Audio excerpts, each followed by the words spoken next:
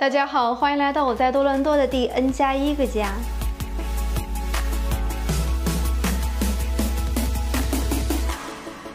首次公开我的家做一个 house tour，心里面还是很忐忑的。之所以想来想去要分享出来，更多的是给大家提供一个新房装修、建商升级、卖房翻新的时候一个思路、一个样本。我们常常带买家了解他们的喜好，明白他们的痛点，装修的时候也顺带融入了现在比较流行的趋势。那我们现在事不宜迟，马上开始吧。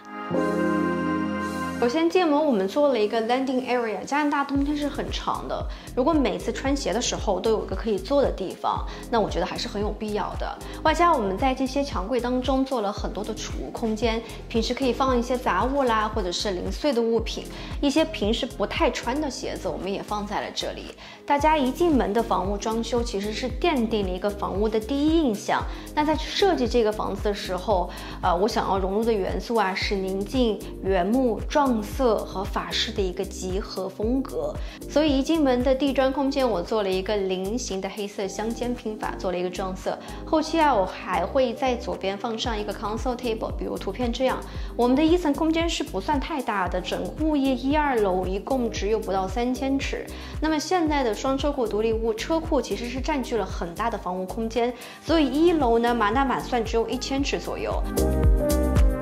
当时建商给我们的 default 厨房呢，地面是采用了十二乘十二的小砖啊，特别的过时，外加原木色的窄板实木地板，整个空间被一切为二，显得非常的小。所以我在后期改进的时候，一楼选用的是可以有一定防水功效的工程木地板，颜色呢也是选用了时下流行的奶油色，拼法是在加拿大不算太常见的鱼骨拼法，我个人觉得很好看，但它的缺点就是很费料，普通地板的损耗呢是在。百分之五到七，那么鱼骨的地板大概是在百分之十五到二十，而且工价也比普通的贵上三倍左右。再来到呢，就是我的厨房空间。都说一个房子啊是金厨银卫，房子是装修的核心，是房子的卖点。建商当初给我的厨房是长这个样子的。我的一楼呢是十尺层高，这种不到顶包胶的厨房是百分之九十九有预算的独立屋买家无法接受的。整个厨房我是没有选用白色厨房的，我用了一个米色、灰色和白色。自己调配了一个暖色调的 grey color 米灰色，搭配的是木色调岛台，所有的柜体都是到顶的，两边还做了视觉上的对称，中间是留空的。油烟机呢也做了 custom cool 的全包式油烟机，搭配全铜式的把手，garbage bin 酱料柜一应俱全，而且采用的是超大的一体式 farm sink，不锈钢会有一些划痕，那么陶瓷的 farm sink 就没有这样子的问题。加上整个空间，我们采用了四种不同。同的光源会制造不同的氛围感。电器方面，冰箱和洗碗机都是 Miele，全部做了 panel ready 的隐藏起来，乍一看和其他的柜体是没有任何区别的。在售的时候，买家也是比较喜欢 Miele 啦、Wolf 啦、Sub Zero 这样的品牌。Thermador Junior 虽然也很贵，但是买家，特别是华人买家，他其实的认同度不算很高。另外，在设计 layout 的时候，我牺牲了 breakfast area 而做了一个大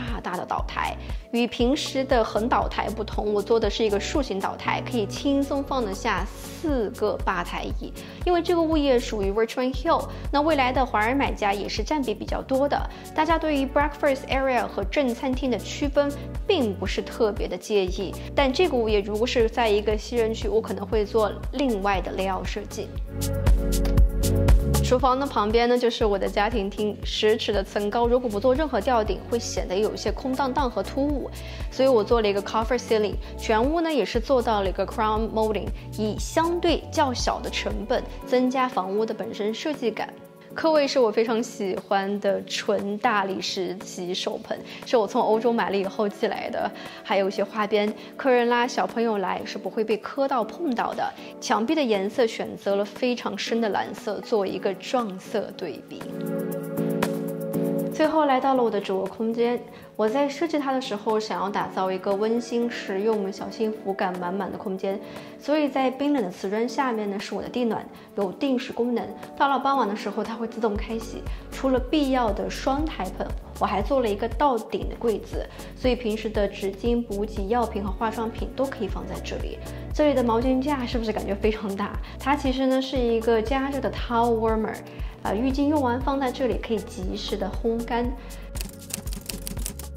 整个屋的全部装修啊，都用了我想要的材料颜色，也是完全按照我自己的风格需求做了定制。一共的花费呢，在二十万出头。如果同样的选项找建商做，价格会在两点五到三倍左右。所以打造这样的空间，更多的是给大家一个样本和展示的可能性。我和建商并没有做什么升级，但也是在一个半月的时间当中，从拆除、定料、装修、整理到最后的完工，打造了自己满意的温馨小家。感谢大家的收看，希望今天的视频能给你在卖房和买房当中装修一些灵感和启发。如果觉得我们做的还不错，也可以给我们点赞，并且关注我们的频道。谢谢大家，我是 Sharon，我们下个视频再会。